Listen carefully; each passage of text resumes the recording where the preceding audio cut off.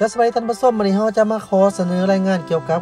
โครงการไฟฟ้าเขื่อนไฟฟ้าโดยเฉพาะแมนบรรดา7เขื่อนตามสายน้ำอู่แมนสางสำเร็จและเริ่มผลิตกระแสไฟฟ้าเป็นที่เรียบร้อยแล้วโดยข่าวเศรษฐกิจการค้าในงานนี้ฮู้ว่าตามสายน้ำอู่มี7เขื่อนที่ว่าได้ก่อสร้างสำเร็จและเปิดผลิตไฟฟ้าเป็นที่เรียบร้อยแล้วให้ลังดำเนินการก่อสร้างมาตั้งแต่ปี 2012 เป็นต้นมา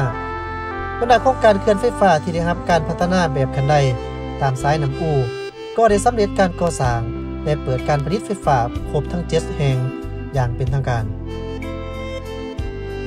พิธีเปิดสลองดังกล่าวได้จัดขึ้นอย่างเป็นทางการ ผ่านระบบออนไลน์ในวันที่28กันยายน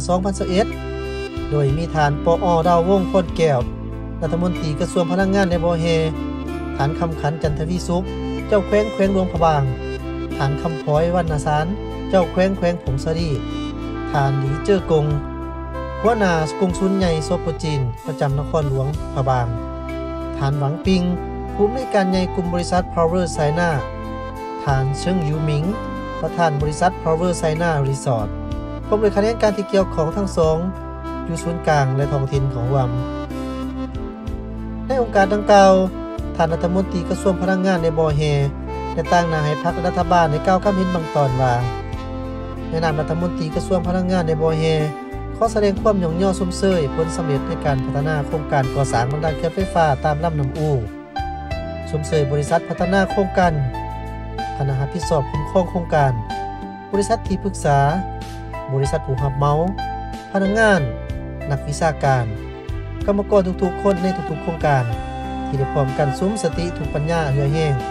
ยกสูงความรับผิดชอบในระดับสูงพันพาความยุ่งยากในแต่ละล้าน จนได้ให้โครงการพัฒนาบรรดาเครื่องไฟฟ้าทุกๆแห่งอยู่ตามลำน้ำอู พิเศษ โครงการเครื่องไฟฟ้าน้ำอู7ที่ได้สร้างสำเร็จก่อสร้างเฮ็ดให้โครงการเครื่องไฟฟ้าทั้งหมดตามลำน้ำอู7เขื่อนได้ก่อสร้างสำเร็จได้บรรลุผลสำเร็จอย่างสมบูรณ์ตามคาดหมายที่วางไว้พร้อมนี้ทันยังได้ตีราคาสูงต่อวิธีเปิดการนำใส่โครงการพัฒนาเครื่องไฟฟ้า ซึ่งนอนอยู่ในสายน้ำอูหย้อนว่า นอกจากแม่นผลสำเร็จที่สำคัญในกระบวนการจัดตั้งปฏิวัติแผนยุทธศาสตร์เกี่ยวกับการพัฒนาอุตสาหกรรมในพนักงงานและบ่อแฮตามแนวทางหันเป็นอุตสาหกรรมในทันสมัยอยู่ประเทศลาวเฮาการจัดพิธีแม่นจัดขึ้นในระยะขบวนการจัดตั้งพันขยายมาตีกองประชุมใหญ่ครั้งที่ 11 ของผักมาตีกองประชุมใหญ่ขององค์คณะพักแขวง องค์คณะพักเมือง แผนพัฒนาเศรษฐกิจสังคมแห่งชาสติ5ปีครั้งที่9ตั้งแต่ปี 2021หาปี 2025 และแผนพัฒนาเศรษฐกิจสังคมของแขวง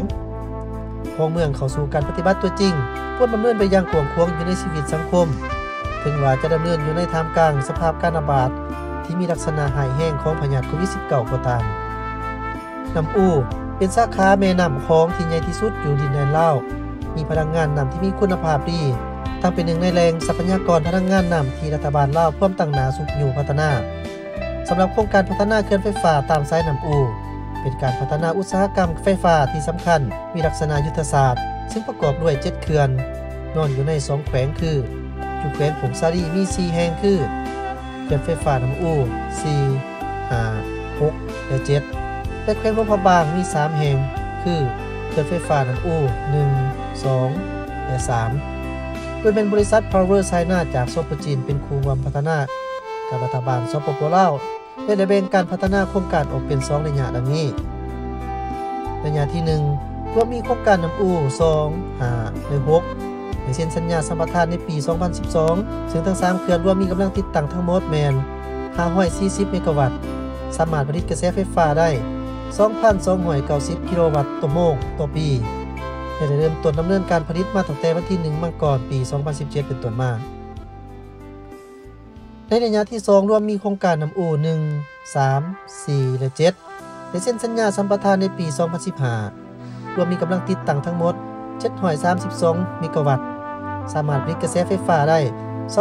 2,893 กิโลวัตต์โมงต่อปี และ 3 โครงการได้สำเร็จเดินดำเนินการผลิตมาตั้งแต่ต้นปี 2020เป็นต้นมา ส่วนน้ำอู่7ก็ได้ก่อสร้างสำเร็จแล้วโดยพื้นฐาน ปัจจุบันก็อยู่ในขั้นตอนการทดลองการผลิต โครงการพัฒนาเขื่อนไฟฟ้าตามลำน้ำอู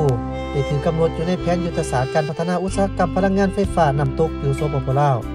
เป็นโครงการพัฒนาอุตสาหกรรมพลังงานที่มีลักษณะยืนยง เป็นมิตรกับสิ่งแวดล้อม และมีประสิทธิภาพทางด้านเศรษฐกิจ ผลสำเร็จของการพัฒนาเขื่อนไฟฟ้าตามลำน้ำอูจะกลายเป็นแหล่งสนองไฟฟ้าที่สะอาดขนาดใหญ่ประกอบส่วนที่สำคัญเขาในการพัฒนาเศรษฐกิจสังคมของสปปลาวในระยะใหม่ เป็นต้นเป็นอยู่บรรดาแขวงภาคเหนือ ขอขอบใจข่าวเศรษฐกิจการค้าจ้าท่านผู้ชมนี่แม่นเป็นข่าวรายงานอัปเดตล่าสุดเกี่ยวกับบรรดา7เขื่อนตามสายน้ำอู้ได้เริ่มผลิตกระแสไฟฟ้าใส่แล้วถือว่าเป็นอีกบาทกล่าวหนึ่งของการผลิตไฟฟ้าอยู่ที่สปปลาวโดยเฉพาะแมนการผลิตไฟฟ้าพลังงานนำถือว่าอยู่แขวงภาคเหนือก็มีแหล่งทรัพยากรธรรมศาสตร์อย่างมากมายมหาศาลโดยเฉพาะแมนมีห้วยน้ำลำธารหลายสายหลายแห่งจากท่านผู้ชมขอขอบใจสำหรับการติดตามรับชม Sa Banyi.